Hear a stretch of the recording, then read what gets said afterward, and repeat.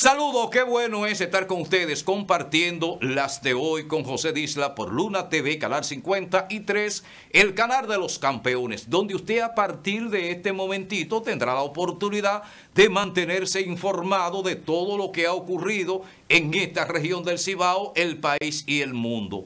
Mañana se está convocando a protesta en el monumento de esta ciudad de Santiago a las 4 de la tarde. Ya comienzan la protesta. Ayer un grupo de personas indignadas estuvo frente a frente al Congreso Nacional, pancartas en manos. Muchas personas están llamando a la Plaza de la Bandera y todo parece indicar que en los próximos días ya el colectivo de organizaciones populares de la región del Cibao estará llamando a una huelga nacional en contra de la reforma fiscal. En La Vega, muchos choferes preocupados porque el marbete le va a subir de 1.500 pesos a 3.000 pesos, también están regados, están indignados y por eso, y por eso ellos hablaron y se refirieron a, esta, a este golpe en contra del sector choferil de la siguiente manera. Vamos a ver. Eso es un abuso para la comunidad y para el pueblo. Porque mira, yo tengo allá al dos vehículos. Son seis mil pesos que hay que buscar.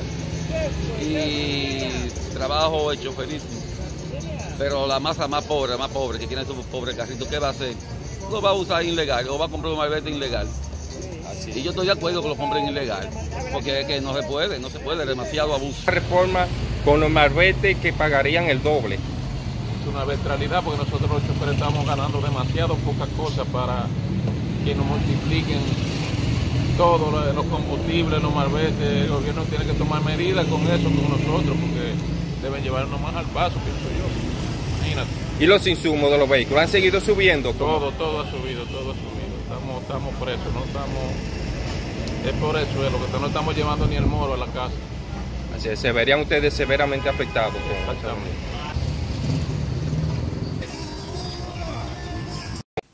Una mujer denuncia cómo hace un año le asesinaron a su hijo en esta ciudad de Santiago.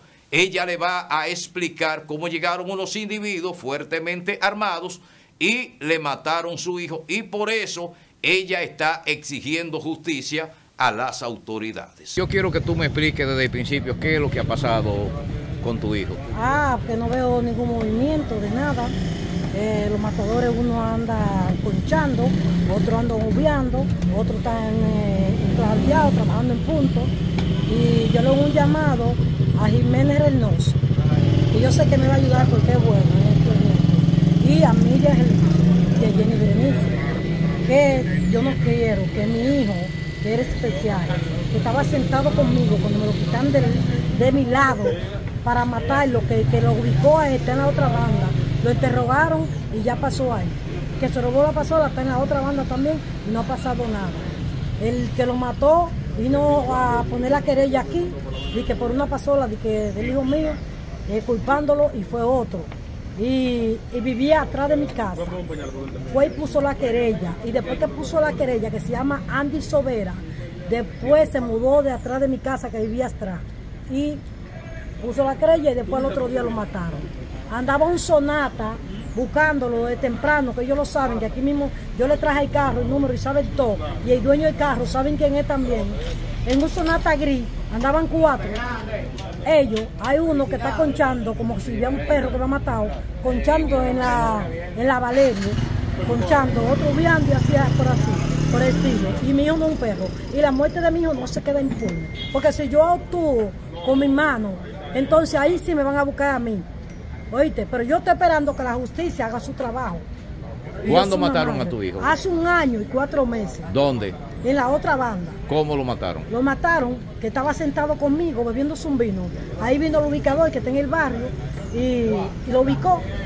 Y cuando yo cogí para la casa, aborté, la, a, a- un arroz de un locro de chuleta que yo estaba haciendo a él. Cuando estoy allá, porque oí los disparos. Y lo jalaron del carro, le hice señas pa- y lo, me lo mataron en la esquina de la gallera, ahí mismo. ¿Cuál era el nombre de él? El nombre del hijo mío es de Elisa Cedo Cabrera. ¿Qué edad tenía? Tenía 25 años.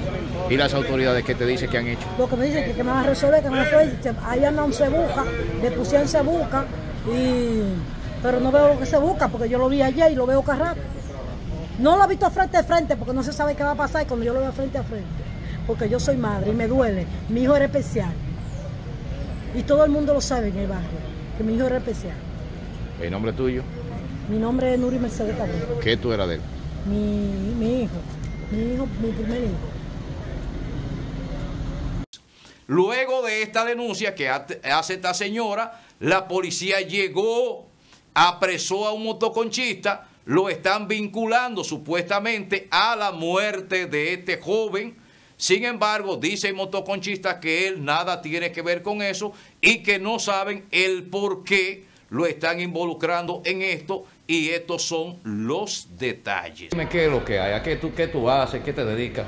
Yo concho en la Valeria. ¿Qué es lo que ha pasado contigo realmente? Yo no sé, ellos me acusan ahí, pero yo no, yo ni, yo ni sé de qué es. ¿Tú conocías ese muerto? Yo no, nunca he pasado palabra con él. ¿Y por qué tú crees que se te esté acusando a ti? No ¿Por sé por qué, ellos lo que tienen que buscar es pruebas y ya. Ok.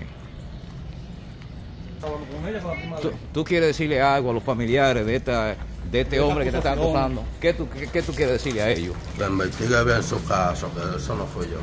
¿Tú crees que se quiera cometer una injusticia contigo? No sé ¿Tú decir. conocías a la persona por la que te están acusando? No, ¿De dónde tú eres? de la joya de ahí. ¿A qué tú te dedicas? Yo concho en la Valeria. Ok. Anoche en Puerto Plata estaban protestando en contra de De Norte y porque no hay energía eléctrica y protestaron con quema de neumáticos y obstaculizando las calles. Estos son los detalles con lo que allí ocurrió.